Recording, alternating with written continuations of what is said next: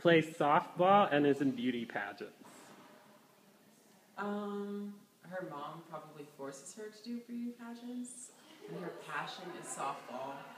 She's kind of the more butch person at the pageants, and she might win it, but probably not.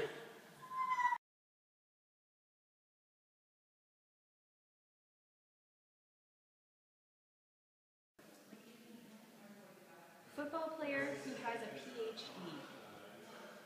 Mm, so he played football in college, and now he's a doctor, and he has a wife and three children.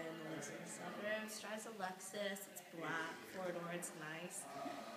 Um, and he has brown hair, blue eyes, glasses now that he's kind of older. He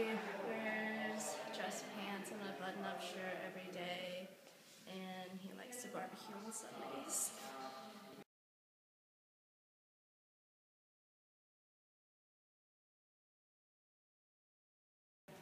A bad driver who's good at math. What? Um. Okay. Bad drivers. Who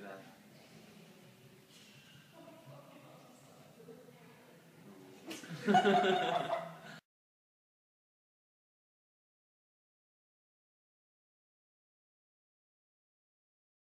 This person is a gay Republican. My type. I don't know.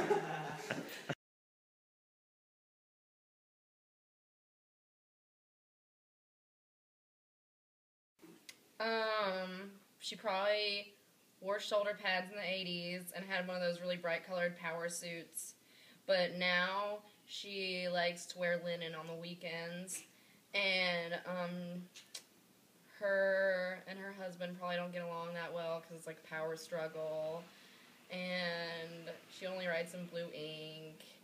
And she probably has like a haircut that flips under on the bottom.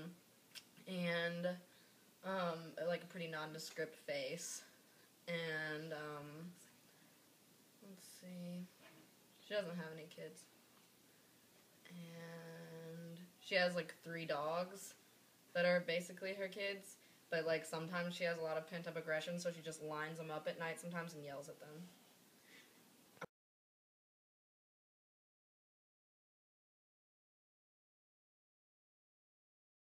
A male daycare worker.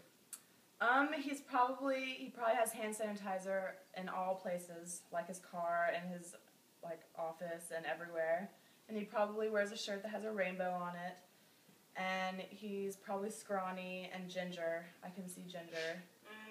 And he probably wears like Sperry's every day.